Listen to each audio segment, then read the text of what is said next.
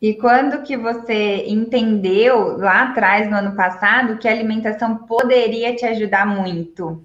Então, porque isso daí nenhum médico me falou, né? Porque, às vezes, quer dizer, esse médico que eu fui, ele até falou assim, não, é, ainda eu perguntei, né? Eu falei, tem alguma coisa a ver com a alimentação? Daí ele falou, não, a alimentação não prejudica nada, você pode comer à vontade. Então, aí parece que é aí que você se esbanjava mais na comida ainda, né? Eu nunca imaginava. Aí foi onde eu comecei a seguir tudo certinho que, que eu tinha no curso seu. Não tudo, porque assim, também eu tava, como se diz, com o aquário sujo, então eu não ia conseguir eliminar tudo aquilo do meu corpo de uma vez, né?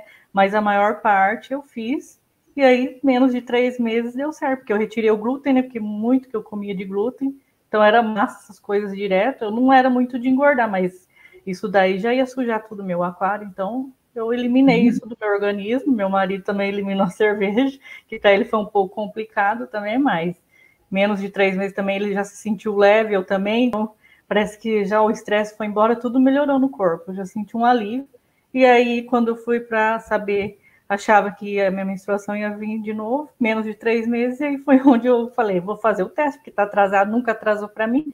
Aí onde veio o positivo.